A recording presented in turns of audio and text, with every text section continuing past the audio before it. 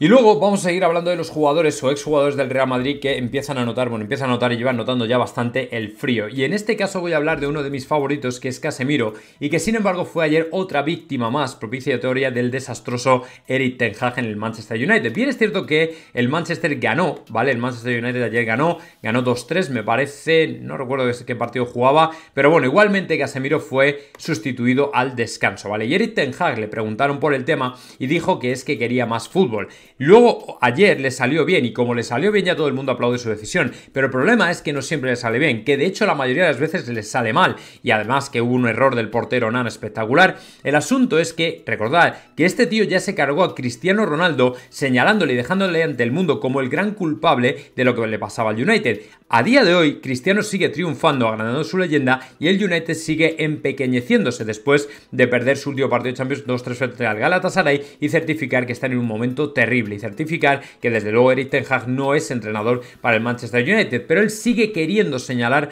a determinados jugadores como el problema. Lo hizo con Cristiano, lo ha hecho con Jadon Sancho y ahora lo intenta con Casemiro, diciendo que él buscaba más fútbol, pero el problema es que la